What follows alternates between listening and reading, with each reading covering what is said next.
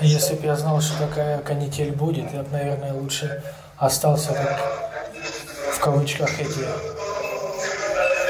бравые парни, которые остались по домам, по квартирам, кто-то проспал, кто-то там. Потому что, я тебе говорю, один шанс на миллион достался. Дима, я верю, что у нас этот шанс будет, и что ты к нам вернешься. Я по-другому вообще даже и не думаю, не рассматриваю другие варианты. По-другому быть не может. У тебя маленький сын, ты должен к нам вернуться. А у жены есть украинский паспорт?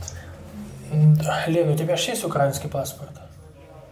Ну, где-то где есть, да. А что, нет такого варианта взять просто приехать? А ее же, наверное, будут э, подвергать репрессиям, так как я ж... Кто, в Украине? Да. Нет. Чьи должны подвергать репрессиям? Она же что-то совершила тут? Да, нет. Ну. Ну, вы просто перестали мыслить как украинцы. У нас закон есть, но она ничего не делала.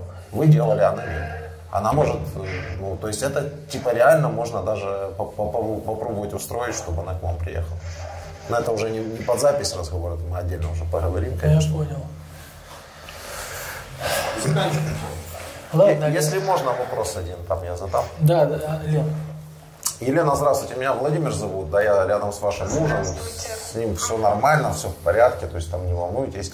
А, да, ну повезло ему, вы в курсе, да, что там многим повезло намного меньше. Что он попал в плен? Ну что, что попал в плен, а не погиб. Ну, тут я с вами не могу не согласиться. Конечно, да, ему повезло, что он живой и что я его слышу.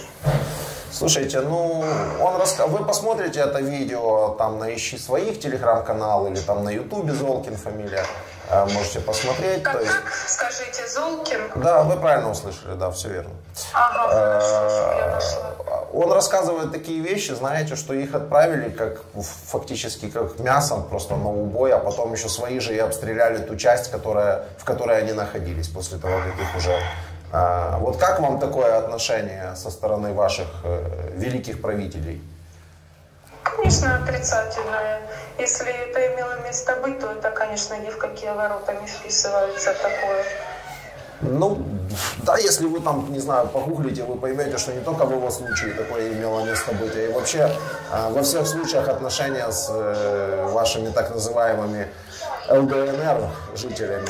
Ну, у меня вопрос другой. Вот скажите, вам намного лучше в Луганске стало жить после, после референдума вот этого?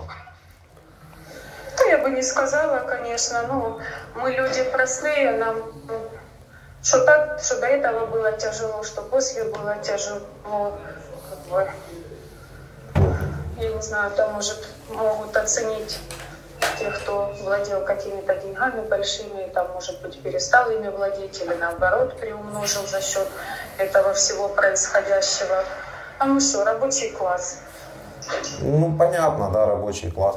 А вот э, просто, ну, вот если бы отмотать это все назад, как думаете, очень сильно вам это все было нужно? Или лучше было в Украине остаться? Я не знаю, когда это все происходило, я еще настолько молода была, что даже как бы особо и не понимала, и не вникала в происходящее. Я училась в институте, и как-то никто и не думал, как оно будет. Ну да. Ну, смысл в том, что да, ну, как бы, если вы не интересуетесь политикой, она интересуется вами, вот, в частности, мы сейчас имеем ну, вот, уже, вот да, эту ситуацию. Уже, да. уже конкретно вплотную она нами интересуется. Вот. Раньше, да, они интересовались, там, 13-й год, мне там было 19 лет. Я понял. Ну, я передаю еще вашему супругу трубку.